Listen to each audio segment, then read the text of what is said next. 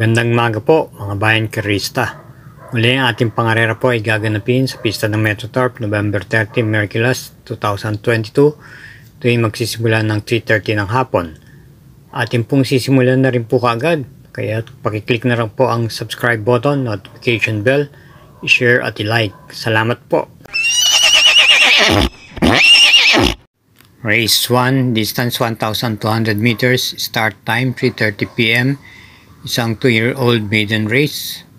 At ito po ay may anim na kalahok lamang. Ang first choice po natin at sisingilin na po natin yung number 6, Jolibel, na rerenda ni Mark Alvarez. Uh, sa akin palagay, ito ay mas batak sa mga kalaban niya. Kaya single na po tayo, numero 6. Race 2, distance 1,400 meters. Ito po isang class 4, group 16 to 21, ang pekta-pekta ay may carry over na 18,807.35 at start po ng winner take all to race 228. Dito po ay meron pong isang kalahok at isang couple entry number 1. First choice po natin yung kalahok number 3, Yes Kitty, ng renda ni NC Leonard kung saan ito po ay dumating lamang po ng segunda ng pinakahuling laban niya. Anigun na po natin ito yung kalahok number 4, Senyorita Bonita na renda ni RJ Fernandez. Ito naman po ay kagaling lang sa panalo ng nakaraan at maganda ho ang mga ikinikilos nitong mga nakaraan mga huling takbo niya ating panersera yung numero 8 GNG na rendahan ni MM Gonzales. Ito po isang deremate at may anggin buti po itong kabahay ito bagamat galing po siya sa mahabang bakasyon.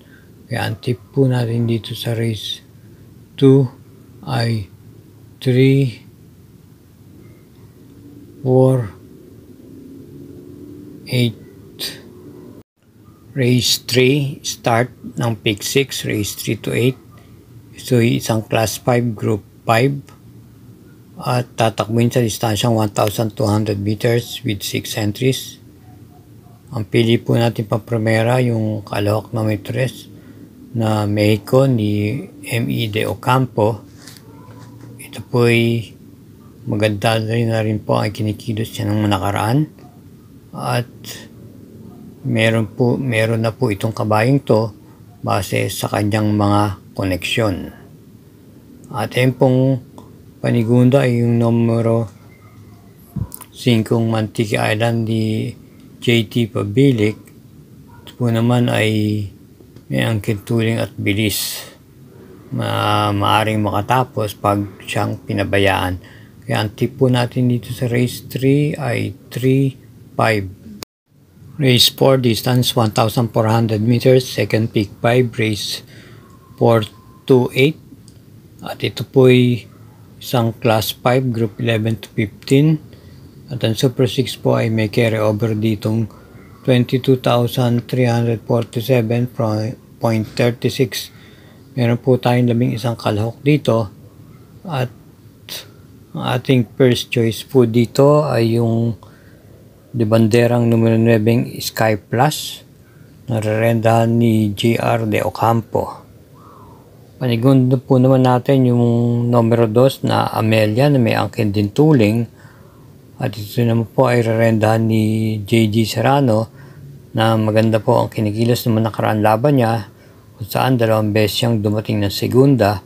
At nung pinakahuling laban nitong nakaraan linggo ay pangatlo po lamang siya dumating.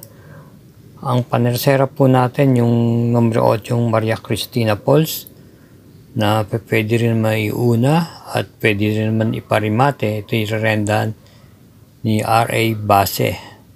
Kaya ang tip po natin dito sa race 4 ay 9 to 8. Race 5 distance 1,200 meters. Start ng peak 4, race 5 to 8. Ito isang class 5 split group 6 and 10. May 6 entries po dito. First choice po natin dito yung kalahok na numero 2 na Coastal Road na rarehatan ni RM Adona. Ating second choice ay ang numero 4 H. Holy na papatnubayan naman ni FS Parlocha. Kaya ang tip po natin dito sa race 5 ay 2-4. Race 6, isang condition race merge group 18 and 19, distance 1,200 meters. Meron po tayong 6 entries dito. First choice po natin, kalahok number 1, Uticus.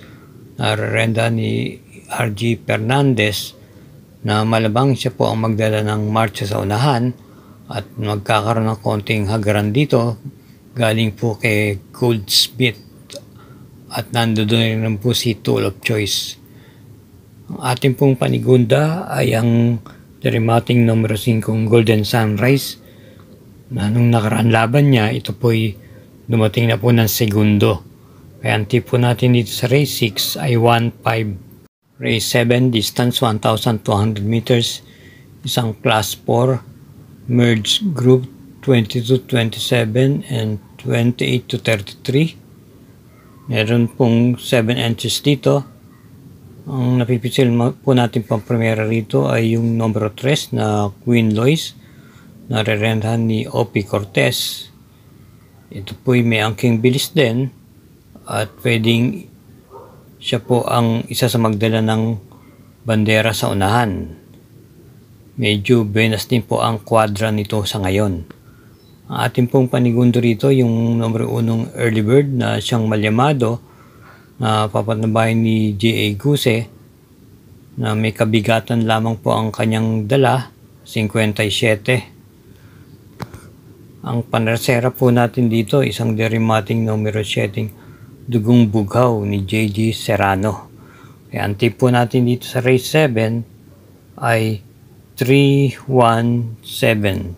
Last race na po tayo, race 8. Isang class 5 split group 6 and 10, distance 1,400 meters with 11 entries. First choice ay yung kalahok numero 7 Cheche Bureche na rerenda ni JJ Serrano na kung saan ito ay dumating na po ito ng terasera ng manakaran huling laban niya at ito po ay medyo sa hulihan po ng gagaling. Ang ating pong panigunda rito yung kalok number 11 GCT na rarandahan ni JL Lazaro. Ito ay pwedeng iuna sa harapan at maganda ho ang kanyang pwesto nasa labas ho kaagad. Ang ating pong panersera ay yung number 4 Botais and Charm ni M.E. De Ocampo na maganda pong dihado to at isa po rin to sa mga nasa unahan. Kaya ang tip po natin dito sa race 8 ay 7-11-4. Maraming salamat po muli mga bayan karista sa oras ibinagay niyo sa Mangkelos TV. Akin lang pong pinapaalala na ito'y pawang mga gabay lamang na base sa akin sariling pag-aaral at sa dakong huli ay hindi pa rin mga korsonada ang siyang dapat masunod. I-click na lang po muli natin ang ating subscribe button, notification bell for further updates, i-share at i-like. Naway pala rin po tayo. Iingat po. Good luck. At salamat po.